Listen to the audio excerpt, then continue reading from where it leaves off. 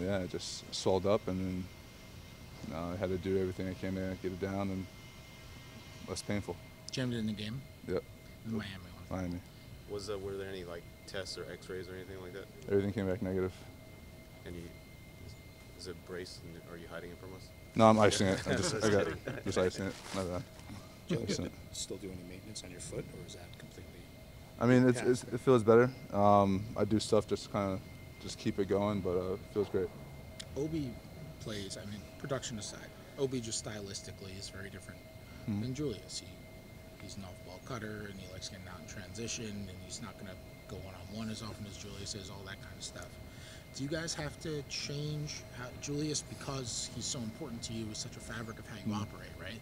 Do you guys have to change stylistically how you operate if like Obi's in there instead of him? I think for us is everyone has to be themselves. Um, don't try and be someone you're not. And uh, I just think, like I said, it's a collective effort. Know, Julius plays a unique style of basketball. Um, we have guys who play differently, but are still very effective. So we just got to be different. I mean, be ourselves, and uh, not really be Julius. Know, Julius brings a whole different dynamic to our team. We just got to be ourselves and just help each other out. You mentioned the timing of the injury, um, how it's bad timing. It- can you guys figure out a way to rally around this somehow? I mean, this is the most important stretch of the season, and maybe it bleeds into the playoffs. How do you guys kind of rally around this situation? Yeah, we um, keep his spirits up. You know, make sure that he's focusing on getting back as healthy and as fast as he can. And um, I think for us, just go out there and just trying to win ball games. You know, it's a next man up mentality, and um, for us, it's it's a group effort. So it's um, nothing really changes, but besides the fact that he's not playing tonight. So we just gotta keep it going.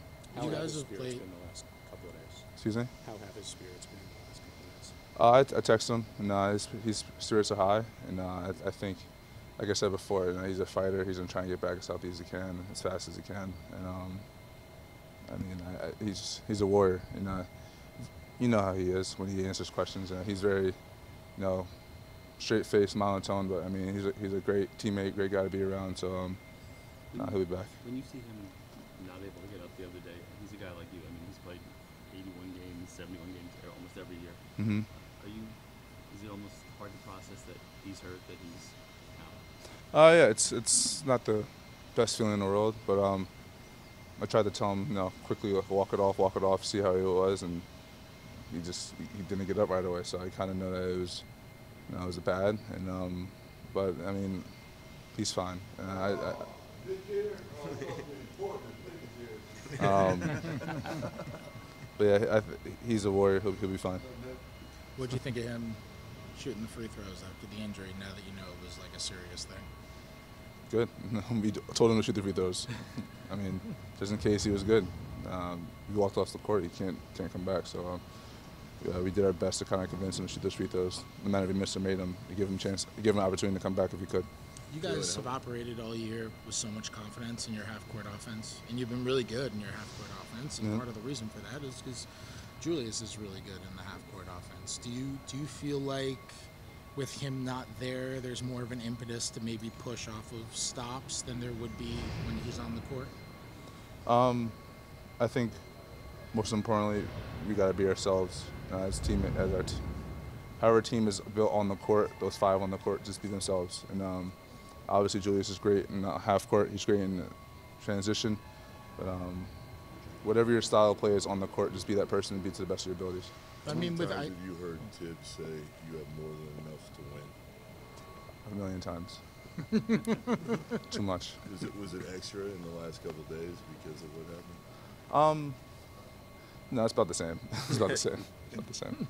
Tom I- went with a smaller lineup in the fourth quarter Mhm. the other night. How do you feel like Hart and RJ can kind of handle that that role if they need to play it? Yeah, I mean, they can do whatever they need to do. Um, they've, they're basketball players, and um, can we do this somewhere else next time? Like,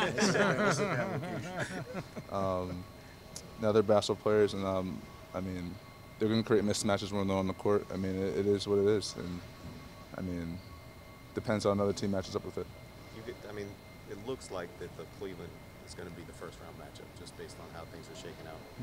When it, when you have a game like this this late in the season, do you look at it like, hey, this is a preview of what what when games are more important, or how do you kind of view that? Um, I view this as you know our fifth to last game of the season, and um, our most important game is our next one.